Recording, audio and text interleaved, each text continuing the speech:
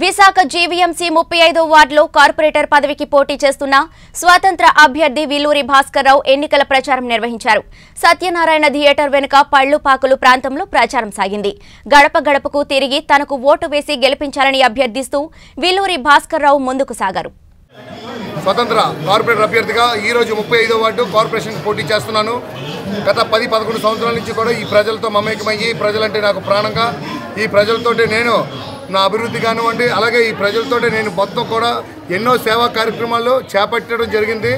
అదే దీనిగా రేపు ముప్పై ఐదో వార్డు రేపు జరగబోయే మార్చి పదిన జరగబోయే ఎలక్షన్లో ఎప్పుడు ఎప్పుడు ఎప్పుడు పదో తారీఖు వస్తుందని చెప్పేసి ఇక్కడ ప్రజలు కూడా బంపర్ మెజారిటీతో గెలిపించడం ఖాయమని చెప్పేసి ఆ మె ఆ ఓటింగ్ ఎలక్షన్ డేట్ కోసం ప్రతి ఒక్కరు కూడా ఇక్కడ వెయిట్ చేస్తున్నారు.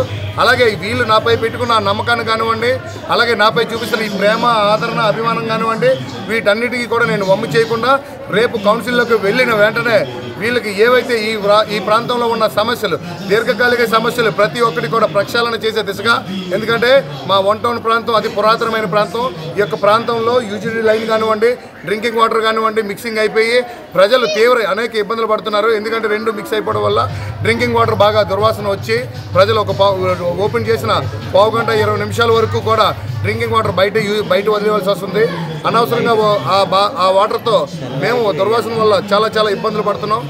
ఈ ఇబ్బందులన్నీ కూడా నేను సత్వర పరిష్కారం చేసే దిశగా అలాగే రేపు ముప్పై ఐదో వార్డులో ప్రగతి వైపు నడిచే విధంగా నేను పాటుపడతానని అభివృద్ధి జేయంగా పనిచేస్తానని అలాగే ముప్పై ఐదో వార్డులో సమస్యలు లేని ముప్పై ఐదో వార్డుగా నేను తీర్చిదిద్దుతానని ఈ ప్రజల నమ్మకాన్ని నిలబెట్టుకున్నానని చెప్పేసి మీ అందరికీ సభాముఖంగా తెలియజేస్తూ రేపు రాబోయే రోజుల్లో బంపర్ అత్యధిక మెజారిటీతో గెలవబోతానని చెప్పేసి మీ మీ అందరికీ మరొక్కసారి తెలియజేసుకుంటూ మీ విల్లూరు భాస్కర్.